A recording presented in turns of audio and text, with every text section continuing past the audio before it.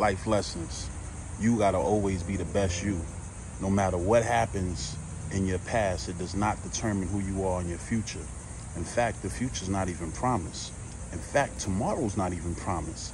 But however, while you're here, do the best thing that you can possibly do and tap into the best part of yourself.